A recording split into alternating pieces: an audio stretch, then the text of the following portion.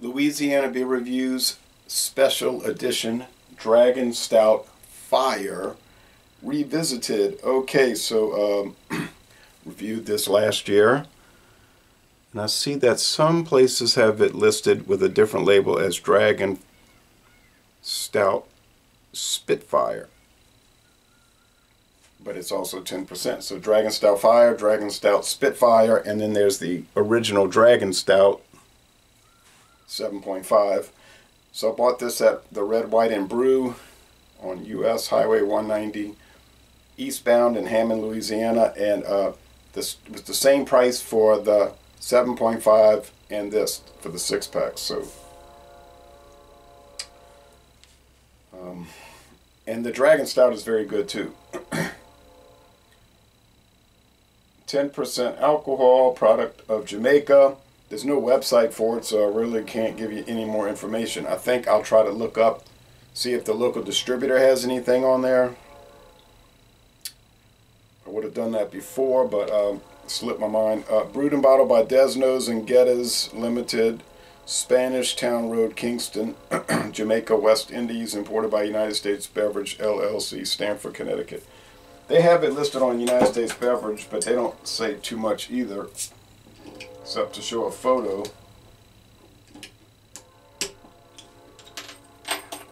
Now, Desnoes and Geddes, you know, they're, you might know, you probably know, they're mostly famous for Red Stripe lager beer, the famous Jamaican beer.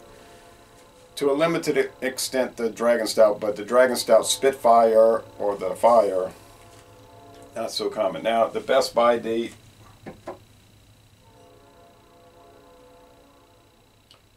is giving me to March of next year. And we're in April of this year, so we have a good date. Now, there's no head of foam at all.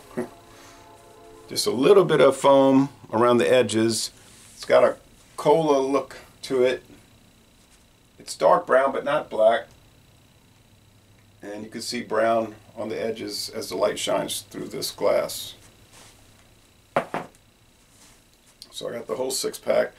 The biggest downside is, well, there's two. It's, it's a, a, little bit expensive, and secondly, uh, you only get a 9.6 ounce bottle. 9.6 ounces. What's the milliliters on that? 284. 284 milliliters. So two of these bottles is a 19.2 ounce tall can. You know those stove pipe cans that we're starting to get everywhere now?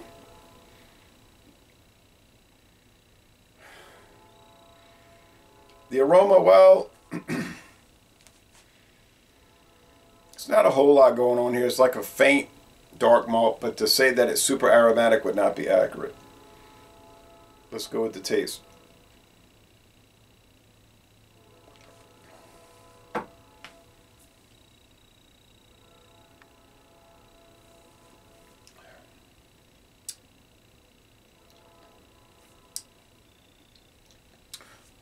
There's a strong alcohol presence.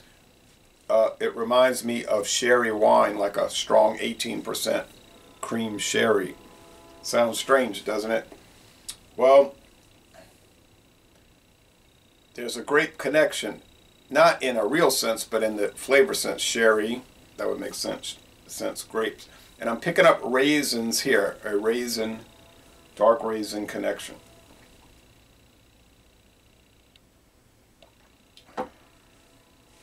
Bitterness units. They must be ra rather low. The number could be 40, but in the real world sense, it seems like it's not even 10, you see. Um,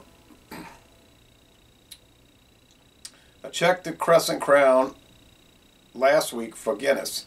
They said Guinness is 40, talking about the extra stout.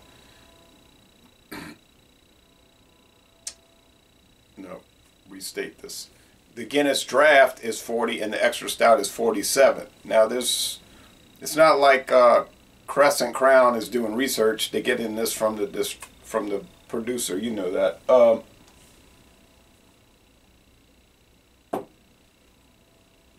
that's just the way they do it.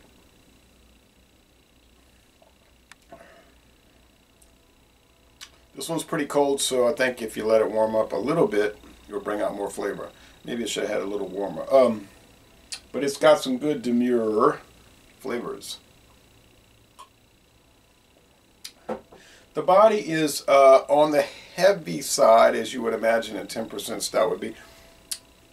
Like high, medium, nearly heavy. There's almost like a little a blackstrap molasses flavor in it. Maybe even like the Guinness, people say they put a little sour beer in it. It could be that too. Mostly dry finish. Let's go with the uh, sweetness and bitterness scale. Sweetness scale. Well, it's pretty sweet. Like I said, the molasses and all of that and the raisins. So let's say four out of five sugar cubes. Bitterness scale if if you say two out of five hop cones, you're pushing it. Pushing it. It's more like one and a half. So this might not appeal to you. You might say, oh no, it's going to be too sugary sweet. It's not enough hop bitterness. It'll be unbalanced, this stout and whatnot. It's in the West Indies. These things are popular in the West Indies, you know, with all the heat down there. I don't know why, but uh, the uh, Guinness uh, the 8% Guinness down there. What is that? The West Indies Porter. The um, Foreign Extra Stout down there at 7.5. Dragon Stout, very popular down there. This one, I guess, is got a following. I mean, they had multiple six packs over there at that at that shop, like five or six six packs. It was well stocked. I don't know if this if it's moving. There's a little chocolate in here also. Well, it's a fabulous product. It's different now if you're used to American 10% Imperial Stouts and um, like the Guinness Foreign Extra, that Antwerpen, and this is stronger than those, but um, it could throw you a little bit. This is a West Indies Imperial Stout, and uh,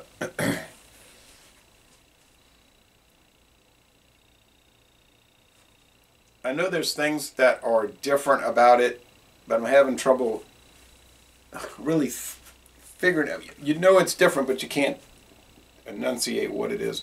I guess I'd have to do a side by side. That would be interesting, like a um. Hmm, let's see what old Rasputin is nine. I'm thinking of one now that's 11, but it's nasty, and I would never confuse it with this. um, I'm never going to do that side by side, so there's no use talking about it. All right. Um,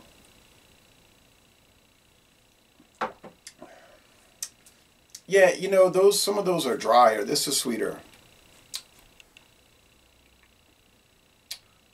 Like a chocolate raisin candy sweetness. I don't know. It tastes really good all I can say is if you can get your hands on Dragon Stout, the seven and a half, get that one first and, and review it. Try it. You're gonna love it. And then the 10% fire, uh, you're gonna say, man, this is fire. This is fire. All right, and this, but it has that sherry note uh, coming on strong at the beginning. Now kind of faded as I drunk through it, as I drank through it. Uh,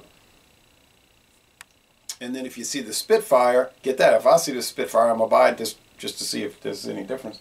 But uh, so how would I score this? Well, I think it deserves an eight. Now it's strange. No, no sediment. That you don't get much head. I mean, that's a little unusual. I mean, on these high gravity things, you, a lot of times you won't get much head of foam, but I mean, there's really none. Um, it's strange that there's no website or anything like that. So I don't know. I can't explain. So I'm going to say 95 out of 100. 9.5 out of 10. It's a most excellent stout. But you're going to pay over $16 well, for a six pack. Now, I saw Total Wine had it for $11.99, but only in Georgia, not anywhere around here. So if you see it for eleven ninety nine, then that's more in a fair price. This one's a little bit over overly priced, especially with that 9.6 ounce bottle. But anyway, 9.5 out of 10, most excellent stout, and gets a 10 out of 10 in, in strange and unusual unusualness. but I'm going to end this review by saying y'all go to Kingston, Jamaica, and tour the Desnoes and Geddes Brewery, and they do give tours.